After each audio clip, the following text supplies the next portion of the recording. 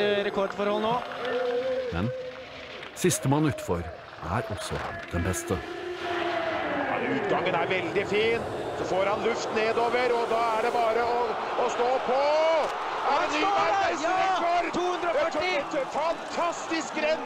Fantastisk Bjørn Einar Romøren!